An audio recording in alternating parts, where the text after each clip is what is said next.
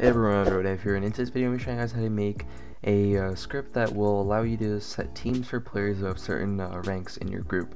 So let's get right into it. So the first thing you want to do, you guys probably already have your teams made, but I'm just going to quickly make mine. So I'm going to go to teams and then hit plus and create my first one. This one I'm going to call uh, red team, and I'm going to be setting the color to red. And then I'm going to make another one called uh, blue team and I'll be setting the color to blue. And uh, with these two teams, what I'm going to be doing is creating a script that will set the player uh, on these uh, different teams. So the first thing I'm going to do is actually turn off auto assignable on both of the teams. And once you've turned off auto assignable, you can go to server script service, click plus, and insert a script. And if you don't see the Explorer and Properties window, go to View and make sure you turn them both on. Once you have that done, go back to Home. Now once you uh, are on the script, you want to go to Name, and you want to call it uh, group, rank, team, script. The name really doesn't matter, I'm just going to be calling it that. And the first thing you want to do is get teams service, so we're going to do local uh, teams equals game, colon get service, teams, just like that.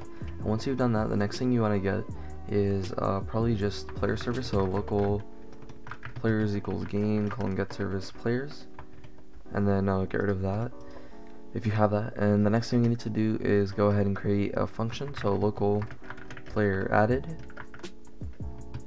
equals function uh, just like that you can also do local function player added just like that they both kind of do the same thing Alright guys, one thing I did forget is to you need to add a player right here. Just like that, you want to type player.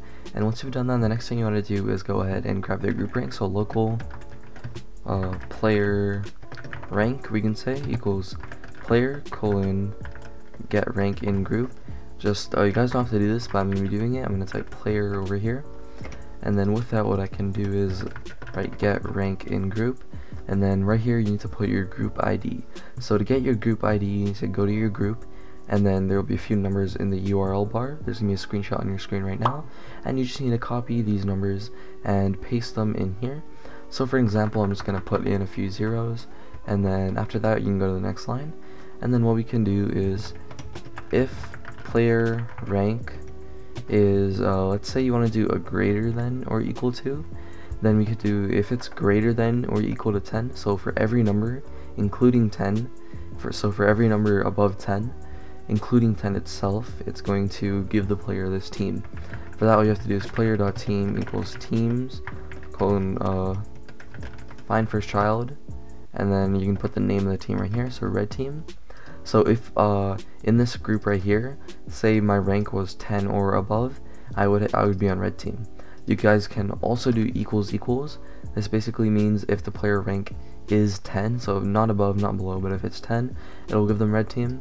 And uh, say uh, you want to do a 10 or less then you do like this and basically just get rid of these. Okay so this is a less than sign this is an equal sign. So if the player rank is less than or equal to 10 that means 10 or anything below that it'll give the player red team. And you want if you want to do more of these and uh, do it for more teams just do it like this and then you could do uh, something else. So make sure these numbers aren't the same. So this one can be 11 so if it's greater than or equal to 11 then it's red team.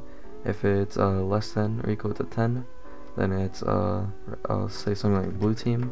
yeah, it's basically how you make the script that will set the player um, rank. One thing I did forget that's really important is you need to connect the function. So players dot player added colon connect uh, player added, just like this.